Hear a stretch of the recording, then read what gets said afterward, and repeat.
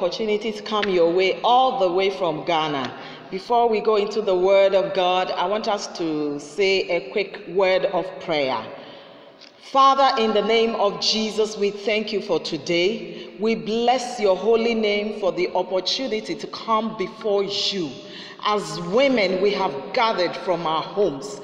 As women, we have busy life and we have come to hear you. Like Mary and Martha, we have left all and we have come to sit under your feet to hear you speak to our hearts. And so, Lord, speak to our heart and transform our minds. I pray that the power of the Holy Spirit will breathe upon His word, and His word, which is a seed, will take root in our hearts, and that we will manifest what God has designed the word to be. In the name of God the Father, in the name of God the Son, and in the name of God the Holy Spirit. Amen. Okay, I want to say a big thank you to the Archbishop of Church of God Mission International for this privileged opportunity. Uh, the Most Reverend Margaret Benson Idahosa, President General, Christian Women Fellowship International, and our Vice President, our President, who is the host of this 2020 convention and also to the international EXCO and all and everybody that makes the convention a reality. I say kudos to all of us. I humbly say thank you for the opportunity to be able to speak to all these women, and I cherish this moment greatly. Thank you so very much. Okay, my topic that has been given to me says focus on Christ for productivity. Focus on Christ for productivity. Exodus 38, the verse 8. Uh, you know, I was raised by Nigerians. I went to Bible school there for two years. So I've been with you and I've been consistent in your convention for almost 20 years. So I can speak a little pidgin and I'm going to flow with you. Okay, so, Exodus 38, the verse 8, it says, He made the laver of bronze and its base of bronze from the bronze mirrors of the seven women who assembled at the door of the tabernacle of meeting. He made the laver of bronze and its base of bronze from the bronze mirrors of the seven women who assembled at the door of the tabernacle. This is Exodus 38, the verse 8. Moses has brought the children of God all the way from Egypt after a quarantine. Did we know that in Egypt, before God brought them out from Egypt, there was a, a, a period when uh, God killed all the uh, what the firstborns of Egyptians, and He asked them to stay indoors and eat the Passover. He quarantined them, and they took to the word of God. They obeyed God's instruction. They stayed indoor, and God ushered them from Egypt. He ushered them from slavery. He ushered them from oppression. He ushered them from disgrace. He ushered them from embarrassment. He ushered them from anything that threatened their destiny, their purpose, and their reason for living. And these women, men, everybody, but in this case, I'm focusing on the women. They moved, they went through the Red Sea and came to the wilderness a place they wanted to settle. And God was about to build the tabernacle. The tabernacle has to do with the temple. It depicts the presence of God with his people, the dwelling presence. You know, the cloud has been moving with them during the day. Then the fire comes by night to give them light. But now, God wanted them to settle for a period of time. For them to be established and to be productive, He needed to dwell with them. And He was about to build the tabernacle, and He, ne- he needed the mirrors of the women. And I, I, I thought about the whole thing. I'm like, why would God is so interesting? Why would He go to women and ask them for mirrors? Wow! I mean, it sounded, I, I saw that God knows everything about us. He knows everything about you. As you have gathered via Zoom, as you have gathered at Benin City, at the feet of God, God knows you and knows what you need. And He has already gone ahead. And I'm telling you, by virtue of this thing, it shows that God was thinking about us. It's so prophetic. And there's a prophetic move of cloud. The dwelling presence is with us. Hallelujah. Hallelujah. So the word of God keeps telling us these people were uh, Moses was about to build the uh, tabernacle and then he needed to take offerings. God asked him, Take offerings from these people. And for the women who served at the tent, the tent is like a temporary built up place where uh, worship was going on. And God wanted to build the tabernacle.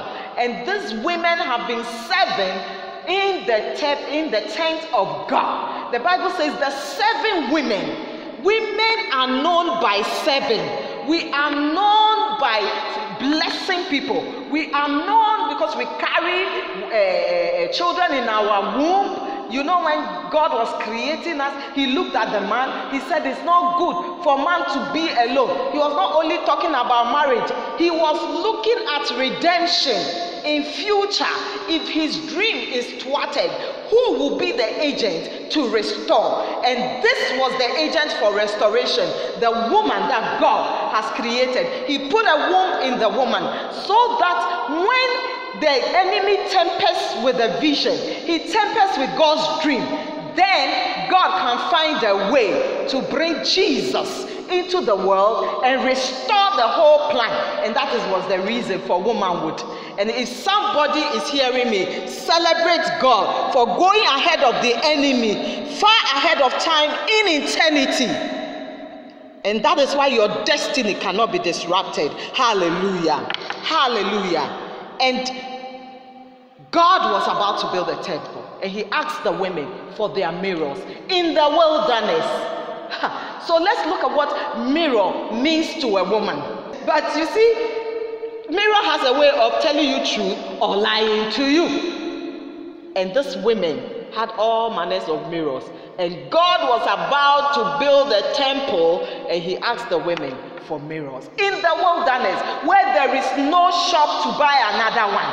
And I'm like, how will these women remind themselves of who they are? Because you see, in the uh, what do you call it uh, in, in, egypt they have a certain mindset of themselves. They saw their husbands as slaves.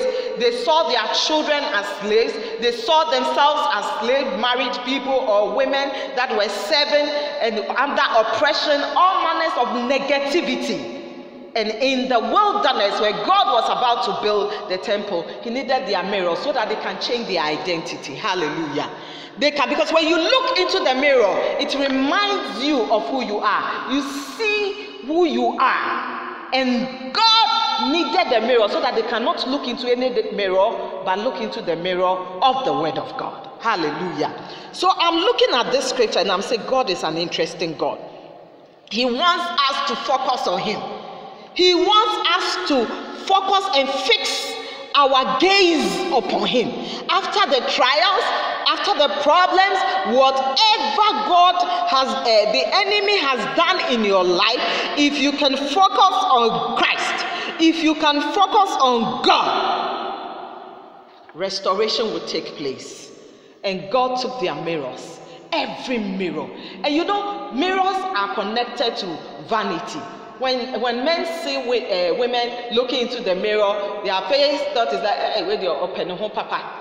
That is true, right? It means ah, this lady is sabi like himself, papa. But God knew all this, and He took the mirrors from the women. And guess what He built with it? Hmm. When He was taking it, Moses was complaining. Why would God ask for such a thing at, uh, for, for, for, for a holy place? How will God ask Mirror to build something in a holy place? things that women look to and they, they, they feel good about themselves and all that. Why will God, something that depicts vanity, why is God asking women to give it to them? Because it has a way of giving them a certain identity and a focus but God wanted to break that focus and cause them to focus on Him to be productive. Hallelujah. To be productive. And so we see these seven women, and I'm glad it's seven women, women who find themselves in the house of God women who have been serving in the house of God. And that's the call. That is the call that God is giving to us today. We've been serving, we've been certain, and God is calling on us to begin to focus on Him. Right now, the media is calling our attention, social media. We wake up, the first thing that calls us is YouTube. The first thing, the second thing that calls us is uh, Facebook. The first thing, uh, Facebook is like a mirror. Every day people are looking inside for their identity. How many likes they have, the picture they posted, and that is what they build their self-esteem on. And the social media, women, the Instagram, WhatsApp, they are all taking our attention. And God is asking us to begin to focus on Him because we are in dangerous times. If you want life, you must focus on life. If you want increase, you must focus on increase. If you want courage, you must focus on courage. And the only thing that can give you that kind of supernatural courage, supernatural increase, supernatural productivity will be your ability to focus on Christ. Because what is happening today in the world, everywhere, nobody can run to any place. Nowhere is safe except in Christ and who you are focusing on. Hallelujah. And who you are focusing on. So it's very, very important. And God asked them for the uh, mirrors and built a laver basin the laver basin is put at the entrance of the uh, what do you call it? The inner tent where when the priests are going to perform their rite they have to wash their hands in that basin. And the bible tells us if the priest does not wash his hands if he never wash his hands for that basin and he say he go inside he's going to perform uh, uh, what do you call rituals or going to pray going to worship na death he die can you imagine what women produced in the house of God? They produced something that gave life. They produced something that give people joy. They produced something. Their mirrors were it was uh, made into something that when men put their hands inside, they begin to live. They can go before God. They can uh, be effective they can have impact, they can have influence. And so I want you to, as a child of God, as a woman of God, I know we are the concerned women, we are the compassionate women, we are the uh, caring women, we are the Christian women, and of course, we are the what? Quiffy women. Hallelujah. And I'm telling you today, God needs your mirror. Whatever has been building your identity and taking your power of focus, God is asking for that thing today. Let's sacrifice it. The women in the Old Testament sacrificed theirs, and they had no mirror to look up to except the mirror of Christ. Let me read my final scripture and then off we go. I thank you for uh, the word of God, and I bless God for this opportunity. Hebrews, um, what do you call it? 1. From the verse 2 to 3, it talks about, you say, who being the brightness of his glory and the express image of his person, and upholding all things by the word of his power, when he had by himself purged our sins, sat down at the right hand of the majesty on high, having come to much better than the angels, as he has by inheritance obtained a more excellent name than they. Hallelujah. So he said, Jesus is what? He said, Jesus is the brightness of his glory. He is God's brightness.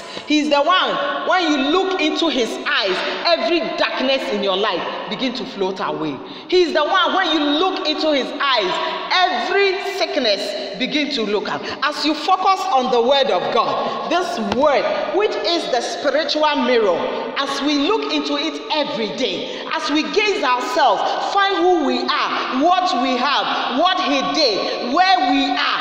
These are the things we search in the scriptures and we profess them and we proclaim them and we declare them and we enforce them as women and give life to people, influence, power, passion.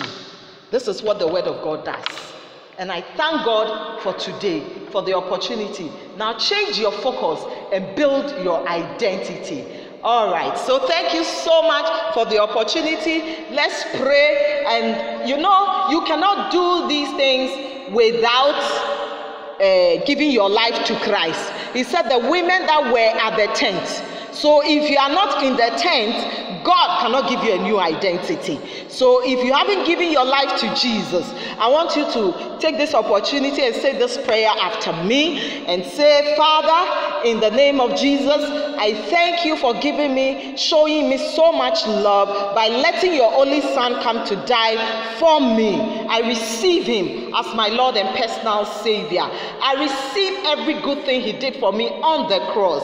And I ask that my sins, as he purged, is purged from my life.